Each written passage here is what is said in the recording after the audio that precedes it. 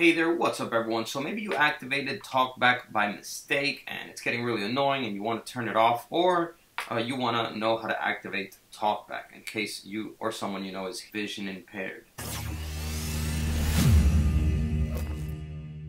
Okay, so uh, once you have TalkBack mode, uh, it could get pretty annoying because everything you click on, it will read it out to you out loud. Uh, and it takes really long to uh, get around the phone. So one trick uh, for Samsungs uh, when you're on TalkBack is you can scroll around with two fingers. Okay?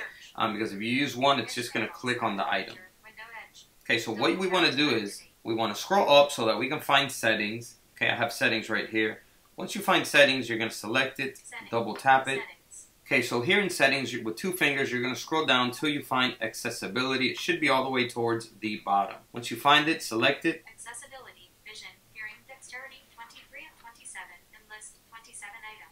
Okay, then double tap it. Accessibility. And then here in accessibility, you will see TalkBack, uh, which is exactly right there. Once you once you uh, see TalkBack, just select it, double tap it, Talkback. Navigate up. Button. Out of list. and it's going to be this function right here. Um, just go ahead and select it once again, double tap it. It's going to ask you to confirm to turn it off. Go ahead and select turn off and double tap it.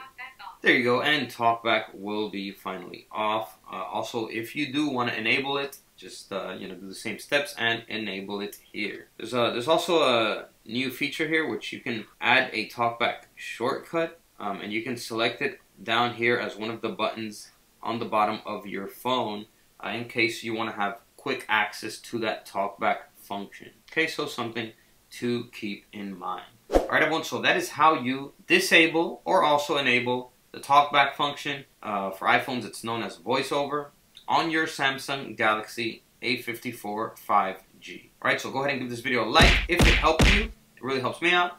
Comment down below, let me know if it did. That's all for this one. Catch you guys in the next one. As always, peace.